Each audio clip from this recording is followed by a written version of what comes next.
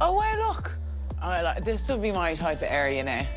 Yeah. uh, what, what is the admission if uh, you just turn for a guy, it's 80 euro in the door, 300 to join. With women, though, like, it seems a little bit unfair that women just, like, women pay, what, 20? Very little. So Why is- why sometimes is you that, just though? let them in free. Why? Yes. Because if you're good looking, you're in. It goes, you know, men should pay, men, you know, um, you know, men should pay, you know, and they don't mind paying, you know, because they like to be here, they like to be part of it, and they like the people that we attract. What does your partner think of this then? Does she or he mind? I don't know. Come on, She- Vogue. Never know. you have to be so open these days. I have days. one and a half kids, Vogue, okay? What's the half? Um, what age is the half? Uh, the half is on the way, uh, so yes. and what does she think of all this then? It's a business, Vogue. Business.